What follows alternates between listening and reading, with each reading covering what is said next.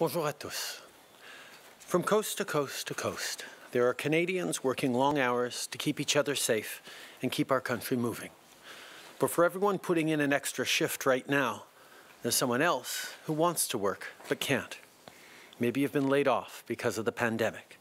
Maybe you still have a job but aren't sure if your employer is going to keep you around next month.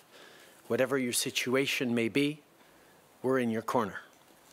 Earlier this month, we introduced the Canada Emergency Wage Subsidy to help protect your job or help you get back to, to work. And as of this morning, applications for this program have opened. Employers can now submit a claim for the Canada Emergency Wage Subsidy through the Canada Revenue Agency. To access the 75% wage subsidy for your employees, go online through canada.ca to reach this portal. Whether you're a charity that employs 200 people or a fast growing startup that employs just 20, you will be eligible to up to $847 per week per employee. And you can expect to see this money soon. The CRA has partnered with financial institutions, so make sure you register for direct deposit to get your money quickly. The first payments should begin to arrive on May the 7th. For organizations like Focus on Nature, who sent me a letter last week, that's huge.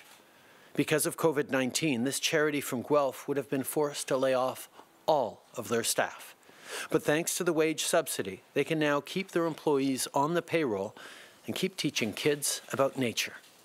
And there are so many more stories just like this one. There have been over 300,000 views of the online calculator we launched last week to help businesses prepare a claim. And since the portal opened at 6 a.m. this morning, almost 10,000 businesses have already applied for it.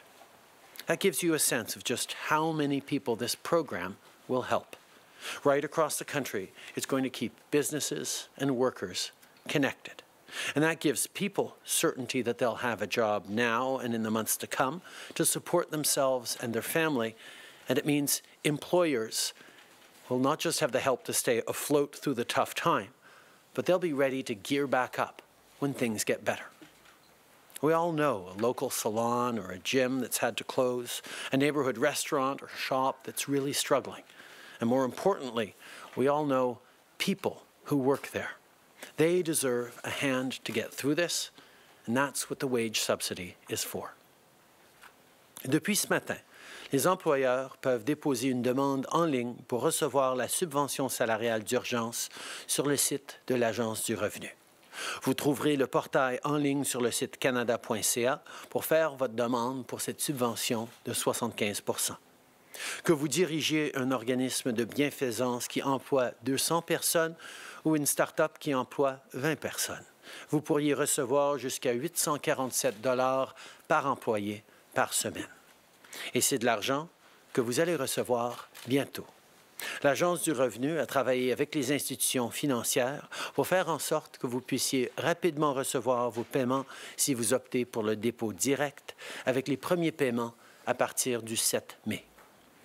Depuis 6 heures ce matin, près de 10 000 entreprises avaient déjà présenté une demande. La subvention va aider beaucoup de gens à garder leur emploi pendant cette crise. Et ça va aussi aider les employeurs à reprendre rapidement leurs activités une fois la crise terminée. On a tous, pas loin de chez nous, un salon de coiffure ou un gym qui a dû fermer ses portes, un restaurant de quartier ou une petite boutique qui sont vraiment en difficulté. Et surtout, on connaît tous des gens qui travaillent dans ces endroits-là. Ils méritent un coup de main pour passer à travers et c'est à ça que sert cette subvention salariale. Mais c'est certain qu'un seul programme ne peut pas aider tout le monde. Si votre employeur ne peut pas vous réembaucher, si vous êtes un travailleur saisonnier, si vous ne pouvez pas trouver un job en ce moment, on va vous aider. Vous avez probablement déjà reçu votre premier chèque mensuel de la prestation canadienne d'urgence.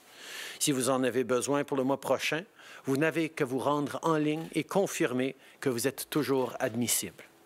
Mais souvenez-vous, vous ne pouvez pas garder et la subvention salariale et la prestation d'urgence. C'est l'un ou l'autre, pas les deux. Pour ce qui est des étudiants, On travaille avec les autres partis pour adopter un projet de loi qui va nous permettre d'instaurer les mesures qu'on a élaborées pour vous. On va poursuivre ce travail-là au Parlement. Notre première séance virtuelle aura lieu demain et une séance en personne aura lieu mercredi. Parallèlement, on va aussi donner aux provinces et territoires du financement pour augmenter les salaires des travailleurs essentiels. Ils font un travail incroyable et ils méritent d'être compensés justement. People are facing different challenges right now, and no single program can reach everyone. So we're coming at this from every angle. If your employer can't hire you back, if you're a seasonal worker, if you can't find a job right now, the Canada Emergency Response Benefit is there for you. You've probably already received your first check.